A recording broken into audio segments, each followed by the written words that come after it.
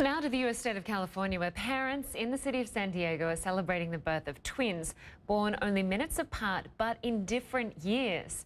Jaylin Valencia was born at 11.59 p.m. on New Year's Eve in 2015, while her brother Lewis was born three minutes later at 12.02 a.m. on New Year's Day 2016. Both babies are happy and healthy, and although they'll be sharing many things over the coming years, a birthday will not be one of them. And as a fellow twin, I think it's exciting they get their own birthday. Thanks so much for watching this edition of CNN Newsroom. I'm Lynda Kinkade. Next on CNN, it's African Startup. But first, I'll be back with a quick look at your headlines.